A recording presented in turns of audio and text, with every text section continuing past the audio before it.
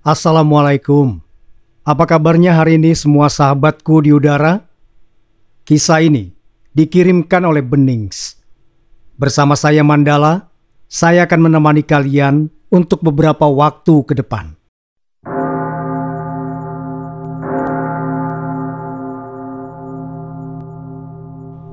Melihat jarum jam yang sudah menunjuk angka 4, Pamali segera keluar dari rumah.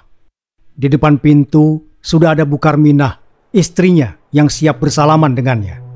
Bapak berangkat dulu ya Bu. Assalamualaikum. Ucap Pamali yang kemudian mengampiri motornya. Waalaikumsalam. Hati-hati ya Pak. Semoga laku semua supaya tidak perlu dibuang ke sungai. Jawab Bu Karminah dengan nada tidak bersemangat. Bahkan sampai suaminya itu hilang dari pandangan. Ia masih bergeming di tempat. Entah mengapa, perasaannya sejak pagi tadi tidak enak bertambah dengan kepergian Pamali sore ini. Pikirannya bertambah kacau tak keruan. Namun, saat teringat kalau sedang menjerang air di belakang, Bu Karmina akhirnya beranjak meninggalkan teras. Tapi ketika hendak menutup pintu terlihat olehnya seorang wanita muda menggendong balita di seberang jalan. Sejenak ia berpikir, wajah dan bajunya familiar. Tapi ia yakin wanita itu bukan warga RT sini atau dia penduduk baru. Bu Karmina mendongak. Untuk beramah tamah, ia hendak mempersilahkannya mampir. Tapi ternyata wanita itu sudah tidak ada. Bu Karmina menghela nafas, kemudian masuk dan menutup pintu ruang tamunya. Pamali dan Bu Karmina adalah sepasang suami istri penjual bakso legenda di sebuah desa kecil pedalaman Gunung Semeru. Dulu, di awal tahun 90-an, mereka memulai karir di kota besar Kabupaten Malang. Tapi Semenjak satu-satunya orang tua Bukarmina wafat di tahun ketiga, keduanya kembali ke kampung dan membuka usaha. Awalnya, semua berjalan lancar. Bakso Pamali sangat diminati oleh warga sekitar, bahkan menjadi primadona. Tapi setelah 15 tahun berjualan, semuanya mulai berubah total. Tepatnya satu tahun lalu, pelanggan seolah berpaling dari Pamali pindah berlangganan ke pedagang bakso baru yang membuka warung andok bergaya modern dengan menawarkan harga lebih murah. Akibatnya, peminat bakso Pamali menjadi berkurang. Itulah yang membuat Pamali memutuskan menutup warung sederhananya, lalu memilih berjualan keliling menggunakan motor. Seperti saat ini, ia harus mau menerobos dingin angin malam lereng pegunungan demi mendapatkan uang dari hasil dagangannya. Kok tumben, dingin sekali ya. Apakah gunung yang mau meletus? Batin Pamali sembari terus memperhatikan jalanan berbatu yang lengang. Bakso Palik. Hah? Pamali terkejut. Buru-buru ia menginjak rem ketika menyadari kendaraannya melewati begitu saja wanita yang entah sejak kapan telah berdiri di pinggir jalan. Padahal dari tadi ia tidak melihat ada siapa-siapa dari kejauhan. Kaget ya Palik? Tanya wanita yang dalam gendongannya terdapat bocah balita tersebut. Iya mbak, perasaan tadi tidak ada orang loh.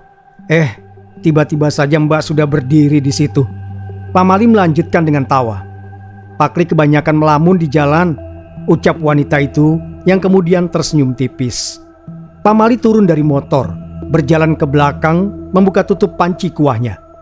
Ah, masa sih mbak? Perasaan enggak. Pamali tertawa lagi. Dibungkus mbak, Tanyanya kemudian karena melihat wanita itu tidak membawa mangkuk. Dimakan di sini saja Pak Li. Banyakin isiannya ya. Ucap wanita itu yang lantas dipatuhi Pak Mali dengan menurunkan kursi plastik yang tergantung di dinding bagian bawah gerobak. Kebetulan, tepi jalan di depan rumah Mbok Karsi lumayan lebar. Jadi mereka tidak mengganggu pengendara lain andaikan ada yang lewat.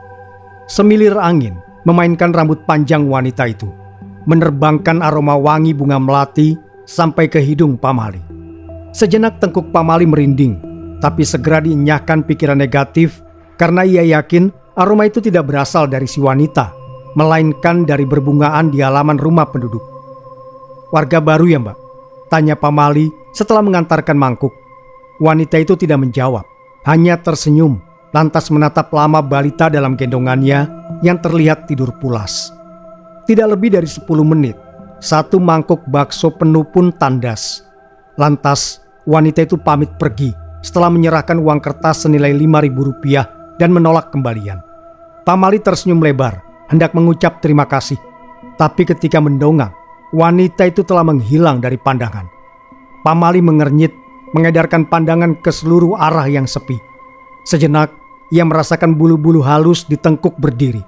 Tanpa menunggu lama, akhirnya Pamali bergegas menata barang-barangnya dan pergi meninggalkan tempat itu. Apa yang baru saja terjadi benar-benar mengusik pikiran Pamali. Ia menjadi tidak tenang.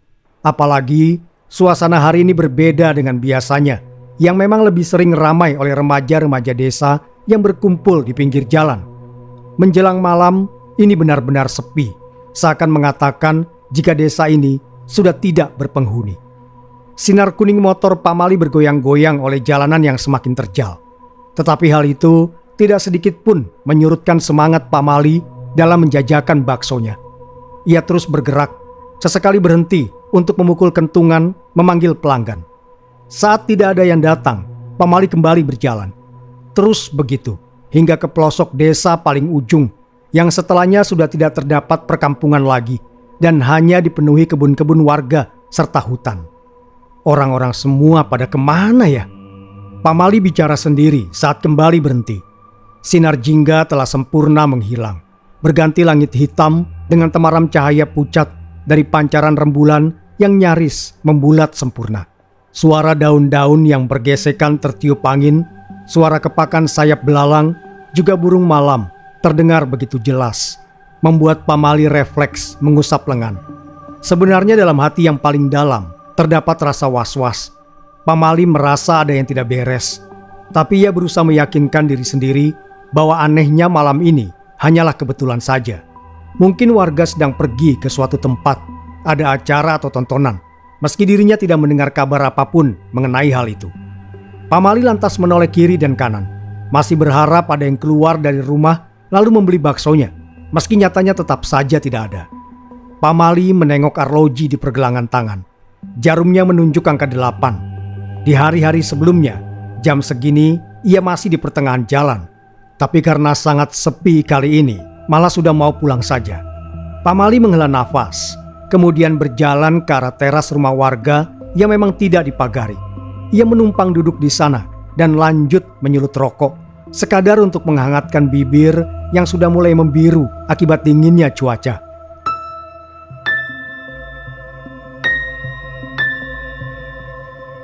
Waktu berlalu, asap tipis mulai membumbung di udara, lalu menghilang tertiup embusan angin malam. Sambil merokok, Pamali teringat dengan pelanggan pertamanya tadi. Berpikir apakah dia benar-benar manusia, karena berlalunya cepat sekali. Teringat akan uang yang diberikan wanita tadi Pamali bergegas mengambil benda tersebut dari tas pinggang. Ia kemudian berdiri dan menerawangnya di bawah lampu kuning 5 watt yang tergantung di tengah atap teras rumah tersebut. Ini uang asli kok. Batinnya setelah kembali menyemburkan asap dari mulut. Heleh, aku ini melantur mungkin ya. Kan tadi dia cuma munculnya di depan rumah Mbok Karsi. Mungkin dia menantunya.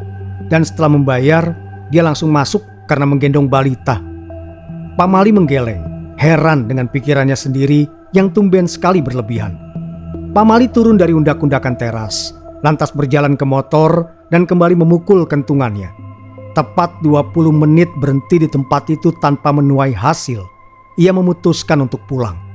Pamali berniat tancap gas lebih cepat dari biasanya. Selain karena keadaan sepi, dinginnya angin malam juga semakin menjadi-jadi. Namun, sesuatu yang aneh kembali ia rasakan. Motornya terasa begitu berat, seakan ada sesuatu di atas rombong baksonya.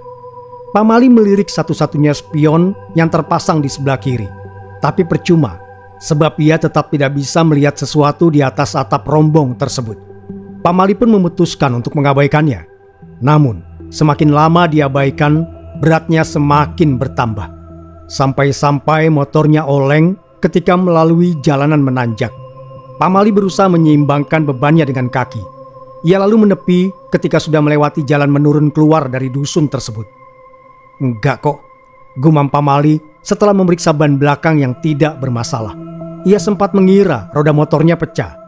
Lagi-lagi, tengkuk Pamali merinding ketika hidungnya menghirup aroma bunga kopi bercampur bau melati, membuat ia ingin segera pergi. Pamali sempat menoleh ke kanan dan kiri untuk melihat rumah warga yang gelap. Sebenarnya ini belum terlalu malam, tapi kenapa semua rumah sudah mematikan lampu dan tertutup rapat? Batin Pamali heran.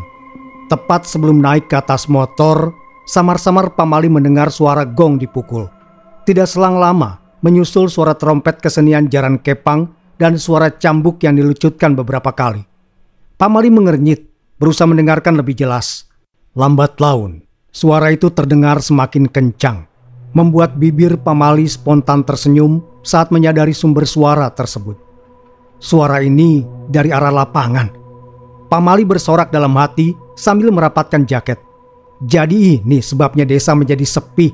Aku tidak menyasar kalam gaib, tapi memang semua penduduk sedang kumpul di sana untuk melihat pertunjukan. Pamali memutar gas, mengendarai motor yang tidak lagi terasa berat menyusuri kebun kopi yang lumayan panjang dan gelap. Sambil terus mengulas senyum, ia mengutuk teman-teman sesama pedagangnya. Kenapa tidak ada dari mereka yang memberitahuku jika ada acara di lapangan desa? Tahu begitu aku kan tidak perlu berkeliling dan bisa langsung menggelar dagangan di tempat tontonan saja.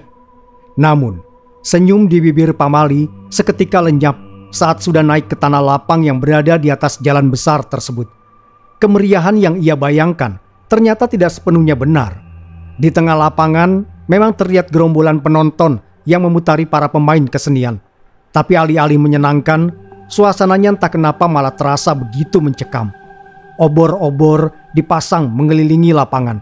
Tidak ada lampu, tidak ada riuh pedagang mainan seperti saat ada acara pada umumnya.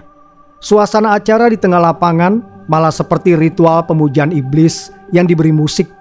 Astagfirullah.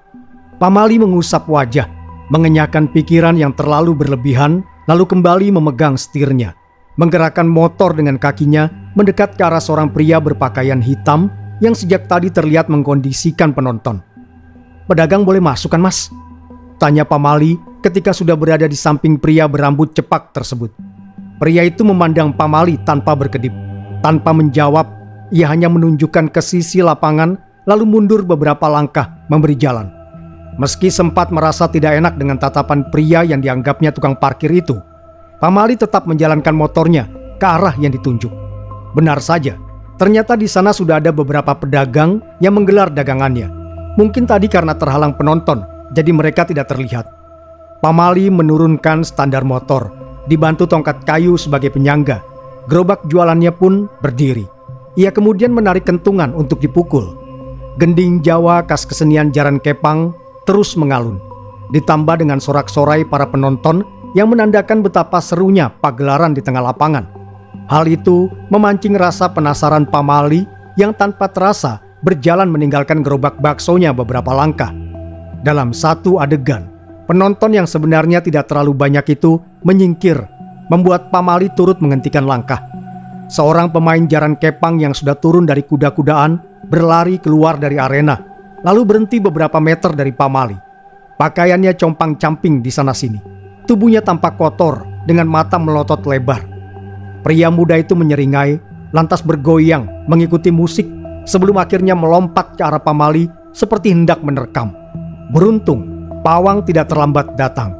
Dengan cambuk panjangnya, ia berhasil mengikat perut telanjang pria yang seperti kesurupan itu dan menariknya masuk kembali ke barisan. Pamali yang tersadar hampir menjadi sasaran pun melangkah kembali menuju motor. Memilih untuk menunggu pembeli dari jarak aman. Di saat itulah, Pamali yang masih belum selesai dengan rasa terkejut kembali dibuat melongo oleh pedagang yang ada di sekitarnya.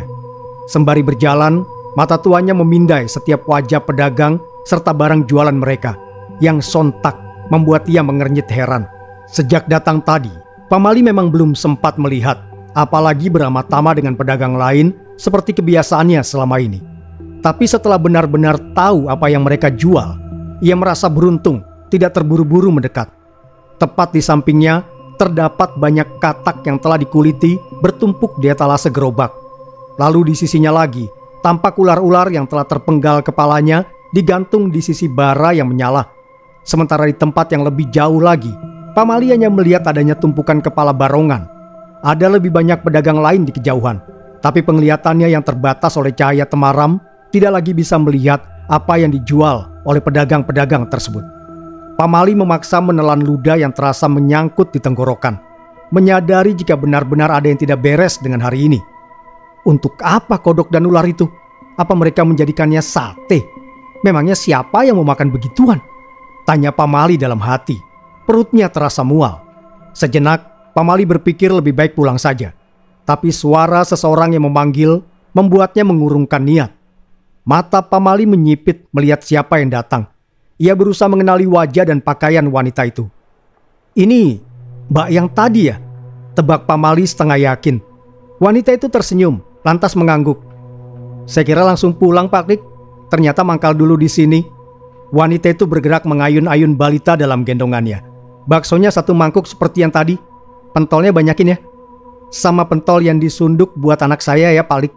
Siap mbak. Jawab Pamali semangat. Sejenak Pamali lupa dengan niatnya untuk pergi.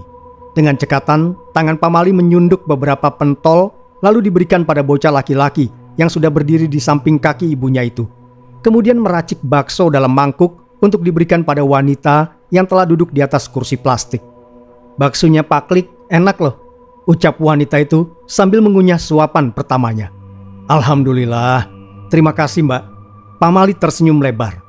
Enak, Tiap hari saya bisa makan bakso gratis dari Paklik. Pamali mengernyit, mencerna ucapan wanita cantik di depannya. Padahal mereka baru bertemu dua kali, tadi sore dan sekarang. Namun, kebingungan Pamali segera terjawab saat teringat kalau wanita itu tiba-tiba menghilang begitu saja sore tadi. Mbak, menantunya Mbok Karsi ya? Tanya Pamali memastikan. Wanita itu tersenyum dan mengangguk, membuat Pamali merasa lega. Pantas, wanita itu berkata setiap hari memakan baksonya karena memang dulu Pamali selalu membagikan sisa baksonya pada tetangga, termasuk Mbok Karsi.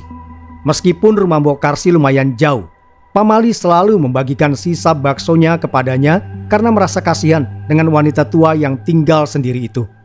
Sayang sekali, bakso senak ini kehilangan banyak pelanggan. Pamali yang baru saja menutup panci bakso mendongak mendengar ucapan wanita itu. Bagaimana bisa dia tahu sementara menantu-menantu Mbok Karsi tidak pernah ada yang menginap lama di rumah wanita tua itu. Apakah Mbok Karsi menceritakan kemalangan nasib baksonya pada anak dan menantunya? Pak Klik tidak iri sama pendatang yang jual baksonya dengan harga murah. Rasanya cuma tepung loh. Kalau ini jelas ada rasa daging sapi. Wanita itu melanjutkan perkataannya. Pamali tersenyum, lantas menjawab. Kalau iri, insya Allah tidak mbak. Cuma maunya sih tidak kehilangan pelanggan saja. Tapi kembali lagi, Mungkin memang rezekinya masih berputar. Saya percaya Allah sudah mengatur semuanya. Wanita itu mengangguk-angguk sembari terus mengunyah makanannya. Pak Klik nggak minat pasang pelaris kah? Mendengar itu, Pamali yang sedang mengatur tekanan gas seketika tersentak. Kemudian dipandangi wanita yang terlihat santai-santai tersebut. Seolah yang diucapkan barusan sangat ringan dan tidak bermasalah. Demi Allah, andai terimpit pun saya tidak akan melakukannya. Jawab Pamali dengan menahan gemetar suaranya. Sungguh, ia sangat tersinggung dengan ucapan menantu Mbok Karsih tersebut. Kendati demikian, ia tidak mau memperpanjang hal itu. Akhirnya, mereka berdua tidak lagi terlibat pembicaraan dalam beberapa saat hingga wanita itu berdiri untuk mengembalikan mangkuk dan bertanya total pembayaran. Baksonya mbak 5000, pentol adiknya 2000, jadi 7000 ya. Wanita itu menarik tangan anaknya agar tidak menjauh. Kemudian mengambil sesuatu dari baju bagian dalam yang rupanya adalah kendit berwarna hitam. Sejurus kemudian, kresek hitam sudah berada di tangannya. Wah, uang saya tinggal koin saja. Boleh saya bayar dengan uang koin Pak Klik? Tanya wanita itu dengan nada segan. Bolehlah, jawab Pamali dengan tersenyum lebar. Kertas maupun koin, baginya sama-sama uang, asalkan jumlahnya sesuai. Setelah menghitung, wanita itu akhirnya menyerahkan beberapa uang koin pada Pamali. Seraya berucap, hitung lagi Palik, khawatir kurang. Ah, tidak usah. Tadi waktu mbaknya menghitung, saya juga ikut menghitung kok. Jawab Pamali malu-malu. Wanita itu mengangguk, lantas mengangkat anaknya untuk digendong dan membalik badan hendak berlalu. Namun, baru hendak melangkah pergi, ia kembali menoleh pada Pamali yang sedang membersihkan mangkok. Sudah malam Pak Klik, lebih baik segera pulang. Kasihan Bulik di rumah sudah menunggu. Pamali mengerutkan kening, mencerna ucapan wanita itu yang terasa sangat janggal. Namun ketika ia menoleh hendak bertanya apakah Bu Karmina memang menitipkan salam padanya, wanita itu sudah tidak terlihat keberadaannya.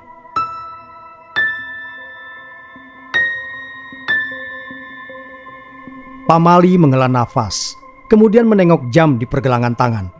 Masih jam 10 kok. Sebentar lagi lah, siapa tahu ada pembeli lagi. Kan lumayan. Batinnya seraya menarik kursi untuk diduduki. Namun, baru saja duduk ketika pandangannya lurus ke depan. Ia mendapati gerombolan penonton yang tadi berdiri melingkar sudah menyingkir ke beberapa sisi sehingga Pamali bisa melihat dengan jelas pertunjukan di tengah lapangan. Sejenak, Pamali senang bisa melihat secara langsung acara itu tanpa halangan. Tapi perasaan Pamali tiba-tiba tidak enak, aneh.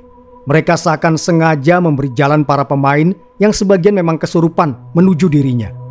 Pamali menghirup nafas dalam-dalam, menoleh ke sekitar, menatap orang-orang yang seakan tengah memandanginya. Aroma melati bercampur kemenyan semakin pekat tercium. Pamali bergerak gelisah sebelum akhirnya memutuskan untuk pergi. Ia ingin pulang saja. Seiring jantung yang berdetak kencang, Pamali berkemas secepat mungkin. Lalu tanpa menoleh ke kanan ataupun kiri, ia langsung menyalakan motor dan tancap gas meninggalkan tempat tersebut. Pamali bergidik. Memang, ia tidak tahu pasti apakah para penonton itu benar-benar tengah memperhatikannya karena penerangan yang temaram. Tapi instingnya mengatakan demikian. Jikapun hanya perasaan saja, tidak mengapa pulang. Benar kata wanita tadi. Pasti Bu Karmina sudah menunggu di rumah karena biasanya jam 10 Pamali sudah sampai.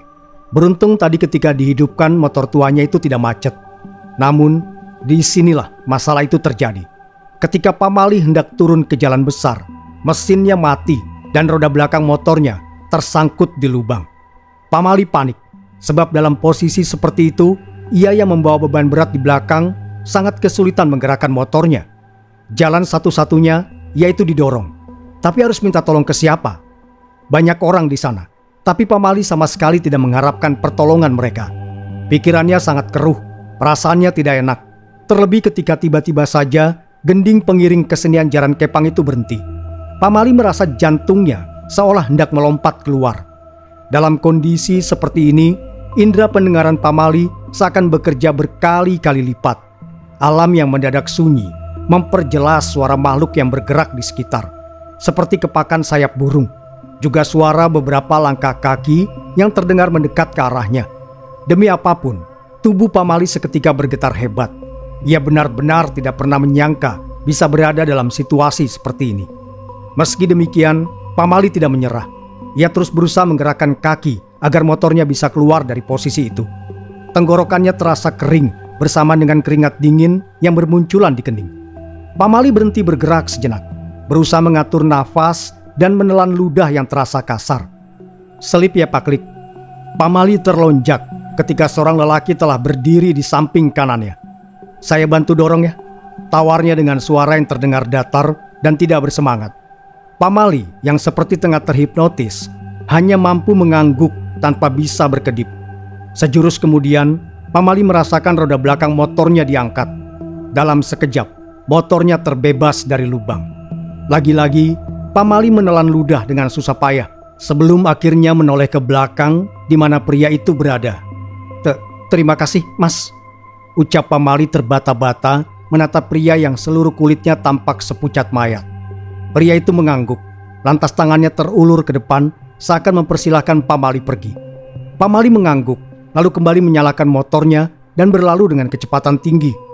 Dalam perjalanan, ia terus beristighfar, berusaha membuang bayangan serta pikiran buruk dan hanya fokus pada jalan yang masih berupa berbatuan. Hingga akhirnya sampai di halaman rumah dengan selamat. Dengan tangan gemetar, Pamali memasukkan kunci rumah, memutar kenop pintu, lalu segera ke kamar mandi mengambil wudhu setelah mengunci setir motor dan menurunkan gerobak bakso. Usai sholat isya, Pamali langsung menyusul Bukarmina yang tengah menengkur halus. Waktu terasa berjalan begitu lambat. Pamali yang tidak bisa tertidur hanya bergerak gelisah membuat Bukarmina akhirnya terjaga. Loh, sudah pulang pak? Jam berapa ini? Kok ibu nggak terbangun ya? Wanita itu bangkit lalu keluar untuk mengecek dagangan. Kemudian kembali ke kamar. Masih utuh baksonya pak? Tidak ada yang beli ya? Ada bu, cuma satu orang. Tapi belinya dua kali. Jawab Pamali dengan suara gemetar. Bukar Mina yang menyangka suaminya itu hanya kedinginan biasa pun mengangguk. Lantas kembali berbaring di kasur. Ya sudah pak, tidur lagi. Sudah setengah satu. Nanti jam tiga kita kan sudah harus bangun lagi. Pamali tidak menjawab. Ia melamun, memikirkan apa yang telah dialaminya beberapa jam lalu. Membuat Bukarmina yang memperhatikannya mengernyit. Ada apa pak? Bukarmina kembali duduk, menepuk pundak Pamali yang seketika tersentak kaget. Bukarmina juga terkejut karena respons suaminya sangat berlebihan. Kok kaget begitu sih pak? Pamali bingung harus bercerita atau tidak. Matanya bergerak gelisah. Sebenarnya meski sudah masuk ke rumah, Pamali masih merasa seperti ada yang tengah mengawasi. Entah benar atau tidak, tapi pundaknya masih terasa berat dan tengkuknya merinding hebat. Bapak kenapa sih? Bukarmina semakin tidak sabar melihat reaksi Pamali yang dinilai tidak biasa. Pamali menunduk, menghela nafas setelah melihat kesungguhan Bukarmina yang sepertinya sangat siap mendengar ceritanya. Ia pun memulai menceritakan pengalaman yang baru saja dialami. Astagfirullah pak, Bukarmina mengusap dada. Pantas saja hati ibu sejak tadi tidak tenang. Alhamdulillah pak, masih bisa pulang dengan selamat. Bukarmina menepuk-nepuk paha Pamali pelan. Iya, Alhamdulillah bu, Rasanya bapak tadi benar-benar menyasar ke alam jin bu. Tapi menantunya Mbok Karsi kok bisa membuntuti bapak ya? Tanya Pak Mali teringat wanita yang membeli baksonya. Menantu yang mana pak? Tadi lepas maghrib, ibu ke rumah Mbak Yuni mengambil bawang. Pulangnya mampir ke rumah Mbok Karsi. Gak ada siapa-siapa kok. Yang benar bu. Terus yang beli baksonya bapak siapa dong bu? Pak Mali terlihat bingung dan ketakutan di saat yang sama. Mereka berdua saling pandang selama beberapa saat. Sebentar bu, Pamali bangkit, mengambil tas pinggang yang digantung di belakang pintu, lalu membawanya kembali ke atas dipan. Tadi bapak sempat menerawang uang pemberian wanita itu, uang asli kok. Tapi coba kita lihat lagi. Pamali cepat-cepat menarik sliting tas dan melihat benda yang seketika membuat matanya membulat. Bu, Pamali menoleh pada Bukarmina yang juga terdiam tak berkedip. Pamali mengambil benda berbentuk persegi panjang berwarna kuning berkilau dari dalam tasnya. Tidak hanya satu, tapi tiga. Sementara uang-uang yang tadi tidak ada. Keduanya masih terdiam, sama-sama terkejut dengan pemandangan di depan mata. Emas pak? Tanya Bukarmina dengan suara lirih, terdengar seperti tidak percaya. Dia bayar pakai emas. Enggak bu, pakai uang biasa, jawab Pamali. Lalu ini Tanya Bu Karminah lagi. Tidak tahu Bu, tapi tadi beneran uang receh sama lima ribuan satu lembar. Apa ini artinya dia juga bukan manusia Bu? Pamali balik bertanya dengan suara lemas. Bu Karmina tidak menjawab, tapi dia seketika teringat sesuatu. Tunggu sebentar Pak, apakah wanita itu memakai baju coklat garis-garis hitam? Bu Karmina bertanya dengan pangkal alis menyatu. Kok ibu tahu? Kening Pamali mengerut. Mendengar jawaban itu, Bukarmina membuka matanya. Tadi, waktu bapak berangkat, dia ada di seberang jalan. Niat hati mau ibu ajak mampir, soalnya ibu pikir warga baru. Tapi saat mau ibu panggil, tiba-tiba sudah tidak ada. Keduanya kembali terdiam sebelum Bukarmina lagi-lagi berbicara. Tapi kali ini dengan pandangan lekat pada mata Pak Mali. Bapak ingat tidak saat tempo hari kita membuang bakso di sungai? Pak Mali mengerutkan kening masih belum paham dengan ucapan Bukarmina. Waktu itu, ada wanita sedang mencuci, tidak jauh dari lokasi kita membuang bakso. Bapak melihat dia kok, cuma dia tidak menoleh ke kita. Wanita itu juga memakai baju coklat garis-garis hitam. Pamali tampak berusaha keras menggali ingatannya tentang wanita yang Bukarmina maksud. Memang Pamali sudah seminggu ini tidak membagikan bakso sisa lagi. Ia berhenti karena beberapa warga memulai gosip bahwa bakso yang dibagikan secara gratis adalah bakso setengah basi. Padahal Pamali tidak melakukan hal itu. Ia hanya punya prinsip untuk menjual bakso yang masih segar. Maka bakso sisa jualan hari ini akan ia bagikan sebagai sedekah daripada dijual lagi esok hari. Omongan warga membuat Pamali sakit hati.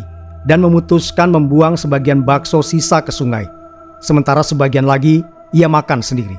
Pikirnya, tidak ada gunanya berbuat baik kalau dipandang sebelah mata. Hanya membuat sakit hati saja. Iya bu, bapak ingat. Astagfirullah, pantas dia sempat bilang selalu makan bakso kita gratis bu. Apa maksudnya bakso yang kita buang itu dia pungut? Jadi dia manusia bu. Serupa Mali setelah beberapa saat. Bu Karmina menggeleng. Ibu tidak yakin pak, karena jika manusia, ibu tidak mengenalinya. Jikapun warga desa sebelah, kenapa jauh sekali mencuci baju di sungai sini? Jangan-jangan dia memang jin penghuni sungai itu bu. Lalu bakso tidak layak yang kita buang selama ini menjadi makanan mereka. Pamali dan Bu Karmina saling pandang. Sama-sama berpikir keras sebelum akhirnya Bu Karmina membuka suara terlebih dahulu. Pak, dengan gerak cepat, Bu Karmina menarik tangan Pak Mali. Kembalikan ya Pak, Ibu tidak mau, Ibu takut Pak. Pak Mali terdiam. Dalam hatinya kurang setuju karena ia menganggap bahwa emas itu rejeki. Pak Mali tidak mencuri, tapi dagangannya dibeli. Namun, tatapan Bu Karmina begitu bersungguh-sungguh. Seakan permohonannya kali ini tidak boleh ditolak. Biarlah kita tidak kaya raya dengan emas-emas itu, Pak. Ibu hanya mau sesuatu yang jelas. Ibu takut ini bukan dari dunia kita, Pak. Bu Karmina memperjelas kekhawatirannya. Baik, Bu. Tapi besok ya. Pak Mali melepas pelan tangan istrinya. Tapi Bu Karmina semakin mengeratkan genggaman. Sekarang, Pak, sudah mau pagi, Bu. Pak Mali menguap. Sebenarnya dalam hati, ia sangat takut untuk kembali ke lapangan itu. Namun, Bu Karmina tidak mau kalah. Tidak apa-apa, Pak. Ibu antar Masa kita harus kembali ke lapangan, Bu? Pamali bergidik. Mengingatnya saja, sudah membuat ia terbayang wajah tukang parkir yang terlihat datar itu. Tidak, Pak. Kita ke sungai. Tahu kemarin kita bertemu dengan wanita itu di sana. Pasti dia itu penghuni sungai. Akhirnya, setelah mendesak Pamali, keduanya berangkat ke sungai di bawah rumahnya yang berjarak sekitar 25 meter. Melewati jalan setapak licin yang kanan kirinya terdapat tanaman kopi juga pohon cengkeh. Mereka akhirnya sampai di tempat tujuan. Keduanya berjalan menuju batu, di mana kemarin melihat wanita itu mencuci, lalu menaruh batang-batang emas itu di sana. Sejenak Pamali menoleh ke arah Bukarmina yang berdiri di sampingnya. Ia masih ragu, tapi tidak bisa berbuat apa-apa. Lalu setelah menunduk dalam beberapa waktu, Pamali akhirnya mengucap salam. Kemudian berbicara sendiri yang sejatinya ditujukan pada penghuni sungai yang telah berbaik hati padanya. Tepat ketika kalimat panjang pamali selesai diucapkan, tiba-tiba angin berembus kencang menerpa tubuh mereka berdua. Batang-batang bambu di sekitar terdengar bertabrakan, mengeluarkan bunyi derit menyayat. Air mengalir dengan sangat deras sampai membanjiri pinggiran sungai yang biasanya tidak tersentuh. Pamali dan Bukarmina saling berpelukan dalam beberapa waktu sambil terus membaca doa-doa hingga akhirnya semua mereda. Setelah memastikan tidak ada lagi amukan alam, keduanya melihat bahwa emas-emas itu telah hilang dari atas batu. Membuat hati mereka lega karena berarti benda itu sudah diambil pemiliknya. Pamali dan Bukarmina kemudian memutuskan segera pulang sebelum subuh datang. Mereka berjalan dengan cepat tanpa menoleh hingga akhirnya sampai di samping rumah. Capek pak. Bukarmina membungkuk seraya memegangi lutut. Nafasnya terengah-engah Tenggorokannya terasa sangat kering. Iya bu, ayo cepat masuk rumah, ambil minum. Bapak juga capek. Namun, ketika hendak memasuki pintu samping, tiba-tiba saja ada sesuatu muncul dari tembok bagian depan rumahnya. Sontak saja Bu Karmina menjerit dan hampir terjatuh, andaikan Pak Mali tidak cepat-cepat memeganginya. Astagfirullah, Bu RT, saya kira apa? Pak Mali mengusap dada ketika melihat jelas sosok yang ia kira hantu. Maaf, Mas Mali, Mbak Karmina, saya tadi sudah ketuk-ketuk pintu. Biasanya jam 3 Mbak Karmina sudah bangun, tapi kok nggak ada sahutan, padahal lampunya nyala semua. Makanya saya mau ketuk lewat pintu samping ini. Eh, kalian di sini rupanya. Bu Karmina menghela nafas dalam, kemudian mempersilahkan tamunya masuk. Kini mereka sudah berada di ruang tamu. Maaf ya, Mbak Karmina, pagi-pagi buta bertamu, tapi kalau tidak begini, saya takut nggak bisa menyampaikan karena pada subuh mau berangkat keluar kota. Lalu, Bu RT mengutarakan maksud tujuannya yang ternyata adalah memesan bakso dalam porsi besar untuk acara tahlil akbar di masjid desa. Acaranya akan diadakan tiga hari lagi. Memang sangat mendadak karena keputusannya baru diambil tadi malam. Setelah mengutarakan hajatnya dan memberi uang muka, Bu RT langsung pamit pulang. Tapi sebelum keluar dari pintu, wanita gempal itu kembali menoleh. Oh iya, Pak Mali, tadi waktu perjalanan ke sini, saya ketemu perempuan gendong anak, titip salam katanya. Pak Mali sama Bu Karmina jangan suka buang-buang makanan. Secara bersamaan, Pak Mali dan Bu Karmina saling pandang. Orang mana ya? Masa malam-malam keluyuran bawa anak kecil? Mana dingin begini? Ya sudah, saya pamit. Tadi sedang menanak nasi buat bekal di jalan, takut gosong. Assalamualaikum. Bu RT itu akhirnya pergi. Menyisakan Pamali juga Bu Karmina yang kini malah dilanda kebingungan juga bahagia sebab mendapat rejeki kontan. Dari kejadian yang terjadi sampai detik ini, sepasang kekasih itu akhirnya menyimpulkan jika mereka sedang ditegur sebab kebiasaan yang tidak baik akhir-akhir ini dengan membuang bakso yang masih layak makan. Pamali juga merasa lulus dari ujian penawaran bekerja sama dengan makhluk gaib dalam menghadapi usahanya yang tengah berada di ujung tanduk. Bukarmina dan Pamali akhirnya berpelukan dengan air mata menetes, keduanya mengucap syukur berkali-kali.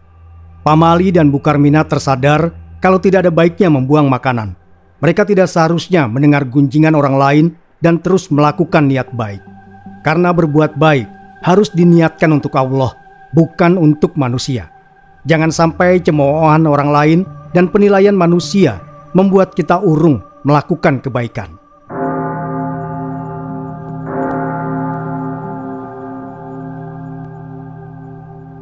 Terima kasih sudah mendengarkan. Wassalamualaikum warahmatullahi wabarakatuh. Sampai berjumpa kembali.